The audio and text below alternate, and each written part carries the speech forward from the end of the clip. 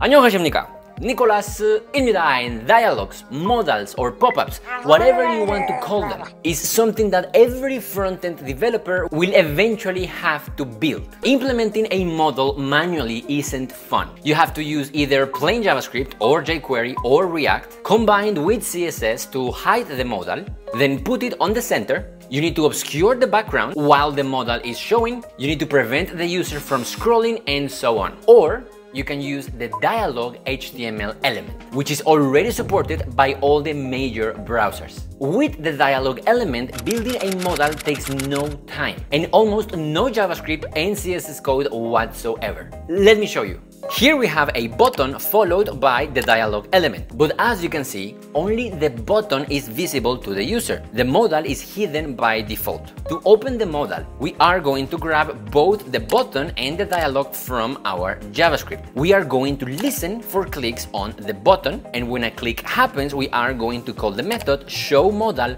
on our dialog. And that's it. Now, as you can see, when we click on the button, the modal will show up on the center of the page, on top of the button. It will obscure the background as well, and it will stay at the center of the screen even if the user scrolls. The modal will also be automatically closed when the user presses the escape key. To create a close button in our modal, we will put a form inside of our dialog with the method property set to dialog. As you can see, when we click the button, the modal closes. It works out of the box without any extra JavaScript, which is great. Let's add another button to our modal, this time with a value of confirm and let's give a close value to our close button as well. To know which button the user clicked, we're going to go back to our JavaScript and there we are going to add an event listener to be notified when the modal is closed. And inside of the listener, we will console log a property of our modal called return value, which is the value of the button that the user clicked. And as you can see, back in our console, we can now know which button was clicked. That was so simple. Just 10 lines of JavaScript code and we have a modal with buttons and all.